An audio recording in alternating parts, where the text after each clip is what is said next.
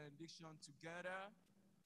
Now, the God of peace that raised the dead, our Lord and Savior Jesus Christ, our great shepherd through the blood of the everlasting, make you perfect in every good work to do God's will, for fulfill and working in you that which is well pleasing in His sight through Jesus Christ to His glory ever and ever.